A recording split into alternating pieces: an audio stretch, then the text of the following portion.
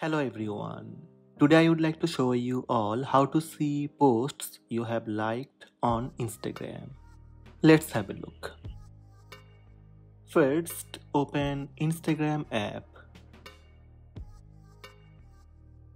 Tap your profile picture icon on bottom right corner. Then tap the menu button at the top right corner.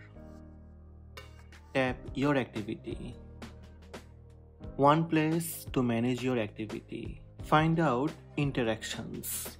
Review and delete likes, comments, and your other interactions. Tap Interactions. Under Interactions, you will find comments, likes, and story replies. To see posts you have liked on Instagram, tap Likes. The likes page will show all the posts, videos and reels you have liked on Instagram.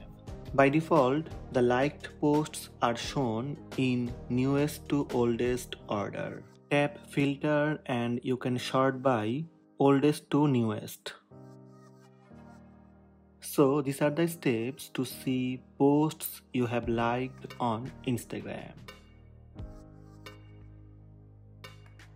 Hope this video help you. Please subscribe my channel by tap subscribe button. Also tap the bell icon to receive notifications about all new videos.